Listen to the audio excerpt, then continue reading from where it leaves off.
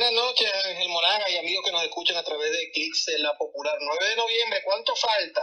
12 días para el proceso electoral. Ajá, 12 días, hermano, porque el, el, 21 no se cuenta. Chico, pero ¿cómo ha arreciado la campaña? Y parece mentira, ¿no? Que no se definen en algunos escenarios quiénes son los rivales, porque cuando ves el tema de Maracaibo te das cuenta que la pugna pareciera ser por el segundo lugar entre Juan Carlos Fernández y, Rafael Ramírez, porque se atacan de bando y bando, a pesar de que Juan Carlos ha sido más equilibrado, de que ha tratado de tender puentes, y no lo he visto eh, enviando a simpatizantes de él, eh, ni funcionarios de, digamos, directivos de, fuerza vecinal, a atacar directamente a Rafael Ramírez o al comando de la unidad, sí hemos visto respuestas en torno a lo que a situaciones en las que ellos se han sentido agredidos por parte del comando de la unidad y que pareciera entonces que es una lucha increíblemente a ver quién llega segundo, ¿no? Sí, yo hay, hay cosas que a estas alturas del proceso, Daniel, eh, yo no termino de entender y de razonar. O sea, si Rafael Ramírez está ganándole a Willy Casanova por 20 puntos según las encuestas de que ahora, ahora todo el mundo es consultor y analista, ¿no? Yo no sabía que... Guarda esas encuestas para después del 21. No, todas, todas, todos esos números los estoy guardando. Yo no sabía que Alejandro Silva ahora también era eh, experto, con, consultor político, y entonces saca unas encuestas, igual que la encuesta de Delfo que la mencionaron pero no la mostraron.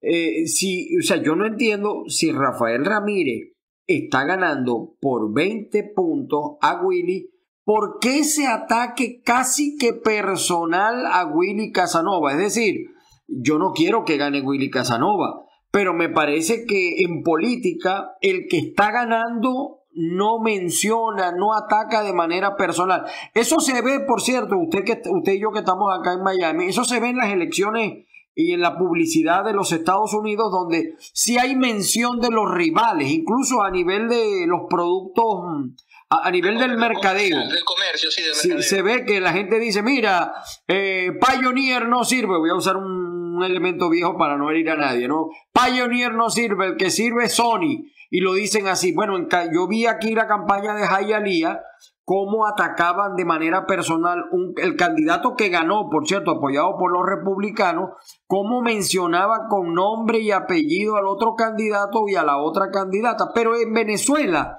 eso no es costumbre, porque el que está ganando no debate, no quiere dar debate, que bueno sería que hubiera un debate, pero ya no hay tiempo, y tampoco menciona. Ahora, Rafael Ramírez rompe ese esquema, esa estrategia no la entiendo, Daniel, y además... ¿Qué me dice? termina, termina. El ataque, el ataque desmesurado, grosero, vulgar contra Juan Carlos Fernández. Si Juan Carlos Fernández no tiene voto, si tiene el 2, el 3%, si va a llegar a 500 metros detrás de la ambulancia, ¿qué les preocupa? Yo voy a decir un poco un refrán porque yo soy refranero. Si tu mal no tiene cura, ¿pa' qué te apura? Y si tiene cura, vuelvo a decir. Así, así es, así es. Mira, ¿y qué me dices? ¿Qué me dices entonces? Si estás hablando de esos números y de qué le preocupa al comando de la unidad, Así, si esa diferencia tan marcada existe, ¿qué me dice entonces el tema de la gobernación? Yo me prestaba hoy a conversar con varios dirigentes de, y, personas que están trabajando con el comando de la unidad. Y entonces, yo no sé si es que yo perdí el olfato político, si es que la distancia no me permite ver la realidad de lo que hay allá, pero uno habla con gente allá, uno tiene familia, tiene amigos, tiene allegados, y uno está en constante información con lo que allá está aconteciendo porque de una u otra forma ese lazo nunca se rompe. Pero los dirigentes del comando te dicen, muchos te dicen, y, ojo, cuidado con el ego y cuidado con el triunfalismo, te dicen que Rosales está ganando con una proyección de 80-20, pero que en el caso de Maracaibo es casi un 90-10. Y entonces yo, yo, pregunto, si estás mandando a votar en tu a la gente, si Juan Carlos Fernández no aparece ni siquiera en las encuestas, y el candidato a la gobernación, el, sub, el, el, portaaviones, que no se va a convertir en submarino, sino que el portaavión tiene una diferencia de 90-10 en Maracaibo, ¿cómo es que tú sigues atacando? Acuéstate a dormir, no gastes dinero, no, no, le dejas a la gente eh, ni a los testigos de mesa no montes nada, porque definitivamente es, imposible de que te volteen a 12 días del proceso electoral de que, te de que alguien te voltee esos números, ni en Maracaibo, ni en el Estado Zulia, ni en Venezuela, ni, en ninguna parte donde se haga un proceso electoral a tan poco día con, una diferencia tan marcada en las encuestas, ¿no? Sí, yo, yo creo igual que tú, eh, yo creo que Rosales está ganando las elecciones hay una campaña que mediáticamente luce como multitudinario el apoyo de Rosales, por lo menos en Maracaibo, pero como tú dices, es un poco, es un mal mensaje a la calle decir que está ganando 80-20 y ver esa desesperación. Ayer lanzaron unas cifras de Delfo que yo estoy seguro que son falsas, de que va a votar el 80%. Por Dios, Dianela, por Dios ni en la mejor época de la democracia venezolana votó el 80%. Va a votar ahora que no hay gasolina, que no hay transporte, que no hay agua, que no hay electricidad, que la gente está obstinada, que la gente está pensando en irse. O sea, de verdad que son mensajes contradictorios de un comando de campaña eh, muy acude. Es decir, el comando de campaña de Rosales yo lo veo muy débil el bueno es el candidato. El, producto es bueno, pero lo que lo rodea es muy malo.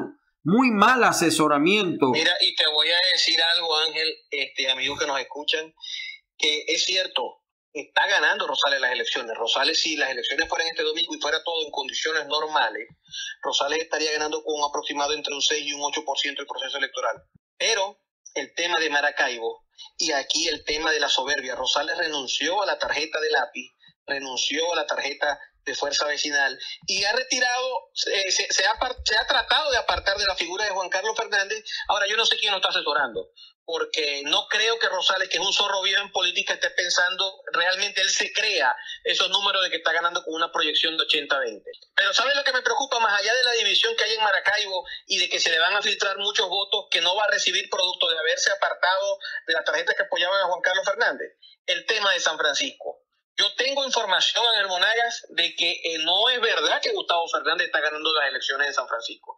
Tengo información de que la pelea es bastante pareja, de que la diferencia entre uno y otro candidato en los estudios que se están realizando, en los estudios serios, no los estudios que, eh, no, no, no las encuestas que, que, producen dirigentes políticos, que se hacen llamar dirigentes políticos y que mañana aparecen como consultores jurídicos, como consultores electorales a través de una red social en los estudios serios dicen que la diferencia es de un, un solo punto porcentual entre candidato y candidato. Y si, es, y si eso es así, si eso es así, hermano, usted sabe cómo actúa el chavismo en los procesos electorales y a lo que ellos comiencen, lo que es la, la operación remate y el barrido, esa diferencia es nada para eh, ellos poder darle vuelta en un momento determinado al resultado electoral de ese municipio, en el caso específico de San Francisco o de cualquier municipio del país. Porque si algo, si algo ha demostrado el chavismo es que cambia la tendencia de los votos en las últimas horas de los procesos electorales. Yo le voy a dar, fíjate, tomando en cuenta sus palabras, eh, yo le voy a dar un consejo a los comandos de campaña. Eh, la mejor manera, hoy en día las herramientas de las redes demuestran el interés de la gente, más allá de los laboratorios, más allá de los bots y de los mecanismos que tienen para aumentar, pero que los pueden utilizar, o sea, porque incluso los laboratorios de Rosales utilizan los bots. A mí me atacan, bueno, a mí me dan con todo y, yo gozo un pullero con eso porque si mi opinión no vale y mi opinión no cuenta, yo no sé por qué se preocupan tanto por lo que uno opina. Pero fíjense, yo veo los videos que producen eh, los comandos de campañas donde habla Rosales, donde habla Fernández y donde hablan algunos, eh, algunos de la nómina de comunicadores de Rosales. Ya todo el mundo sabe que hay comunicadores, hay programas de opinión que les está pagando Rosales para que hablen y hablen bien de él y ahora sean más rosalistas que Belín. Pero yo veo esos programas en Instagram, los veo en Twitter, eh, los veo en Facebook y en esos programas eh, para nada, en eso, las visitas. Bueno, le voy a poner un ejemplo. Rosales tiene un tweet, lo voy a colocar a continuación para que usted oiga lo que lo estoy viendo. Escúchelo. Me siento seguro porque voy con ustedes a recuperar el Zulia, a recuperar el Zulia para que el Zulia vuelva a ser la cuna del conocimiento, la cuna de la prosperidad. La Bueno, cuna- ahí Rosales dice que va a recuperar al Zulia, ojalá. Eh, pero ¿sabes cuántas reproducciones tiene ese video? ¿Cuántas? 766 reproducciones. O sea, un hombre que, un hombre que está ganando 80-20, ¿cómo va a producir un video de 760? Ahí está fallando. O es mentira lo del 80-20 o el comando de campaña es malo. Y yo sé que le van a jalar las orejas a algunos. Igual, algunos programas que han creado para, para favorecer a Rosales.